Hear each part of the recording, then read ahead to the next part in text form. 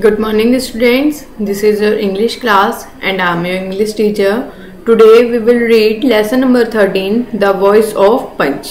बच्चों, आज हम क्या रीड कर रहे हैं आज हम रीड कर रहे हैं lesson number 13 the voice of panch means पंचों की आवाज़ ओके सो क्लास को स्टार्ट करने से पहले सभी बच्चे अपनी बुक्स ओपन कर लीजिए और मेरे साथ रीड करना स्टार्ट कीजिए okay now we will start reading बच्चों लेसन नंबर थर्टीन जो है, हमारा the voice of panch means पंचों की आवाज़। ये किसने लिखी है? ये मुंशी प्रेमचंद्र ने लिखी है। मुंशी प्रेमचंद्र जो कि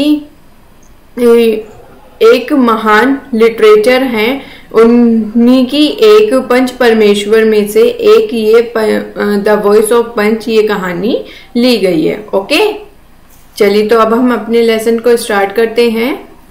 This extract has been taken from पंच परमेश्वर written by मुंशी प्रेमचंद ये जो द वॉइस ऑफ़ पंच है, ये किसमें से ली गई है? पंच परमेश्वर में से ली गई है। जिसको किसने लिखा है? पंच परमेश्वर को किसने लिखा है? मुंशी प्रेमचंद ने इसको लिखा है। This is the story of two friends ये जो कहानी है, ये दो दोस्तों की कहानी है।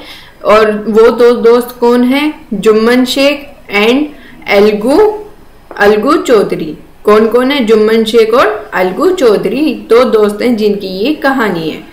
Jumman Sheikh and Algu Chaudhary were bosom friends Jumman Sheikh और जो अलगू चौधरी है, वो बहुत ही गहरे दोस्त हैं। मीन्स उनमें इतनी गहरी मित्रता है, बहुत ही गहरे वो दोस्त हैं। सच्ची मित्रता जिसको बोलते हैं।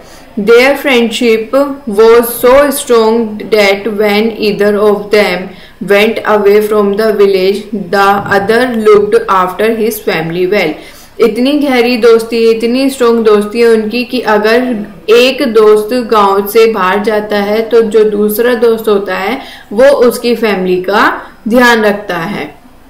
Jumman had a maternal aunt Jumman की एक मैटरनल आंट है.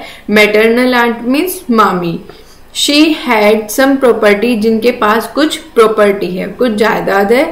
Jumman assured her to look after her if she transferred the property on his name Jumman जो है, वो अपनी मामी को, जो मैटरनल आंट है, उनको विश्वास दिलाता है उनकी देखभाल करता है कि ताकि वो अपनी प्रॉपर्टी किसके नाम कर दे? जुम्मन के नाम कर दे।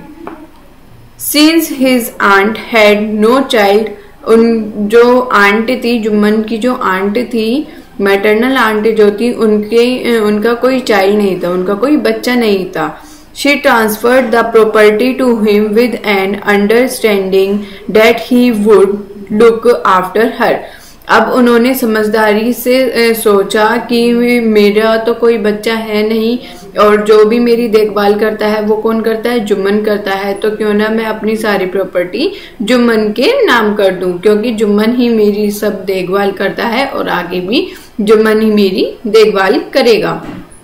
Until they got the registry of the property on their own name, अब जो जुम्मन की मेटरनल आंट होती है, उन्होंने प्रॉपर्टी किसके नाम कर दी? जुम्मन के नाम कर दी। Jumman and his wife should pay much attention to their aunt Jumman और जो जुम्मन की वाइफ थी, वो दोनों जब तक उनकी प्रॉपर्टी जो मैटरनल आंट की प्रॉपर्टी जुम्मन के नाम नहीं हुई थी, तब तक वो उनका बहुत ही अच्छे से ख्याल रखते थे दोनों, जुम्मन और उसकी wife as it had done और जब उनकी, जब मैटरनल आंट ने अपनी प्रॉपर्टी जुम्मन के नाम कर दी तो क्या हुआ? He become rude to her because a bitterness came in the behaviour of his wife at the thought of little food that he that the old lady और जब उन्होंने अपनी प्रॉपर्टी जुम्मन के नाम कर दी तो जो जुम्मन की वाइफ है, उसका बिहेवियर चेंज हो गया। मीन्स वो उनके साथ में रूड बिहेवियर करने लगी। मीन्स उनको उनके बीच में करवाहट आ गई। जुम्मन की वाइफ यहाँ तक कि जब भी वो उनको खाना देती थी तो भी उनको कुछ ना कुछ वो कहती रहती थी। ठीक है? Now come to the next page wanted every day she swallowed the abuse at the time of giving food by his wife but when the patients crossed the limit she spoke the Jumman अब जो जुम्मन की wife थी वो जब भी जो maternal aunt थी, जुम्मन की, जो मामी थी, उनको जब भी खाना देने के लिए जाती थी तो वो मतलब गाली देकर उनसे बात करती थी। उनसे मतलब अच्छे तरह से उनसे बात नहीं करती थी। सीधे मुँह उनसे बात नहीं करती थी। और ये देखने के बाद जब जुम्मन की जो मामी थी, उनका जो धैर्य था, वो खत्म हो गया। तो उन्होंने किसको बोला? उन्होंने जुम्मन से कहा, My son I realise that I am not like in your house so I am being illiterate for the couple of the month my son means मेरे बेटे, मुझे ये रियलाइज़ हो गया है कि मैं इस घर में रहने लायक नहीं हूँ। मैं तो अनपढ़ हूँ। तो तो मैं कुछ महीने के लिए यहाँ से चली जाती हूँ। Kindly give me monthly allowance so that I can make my own food in a separate kitchen. तो वो कहती है कि तुम मुझे मंथली अलाउंस दिया करो मीन्स मंथली पैसे दिया करो मेरे खर्चे के लिए, खाने के लिए, ताकि मैं अपनी अलग किचन में अपना खाना बना सकूँ।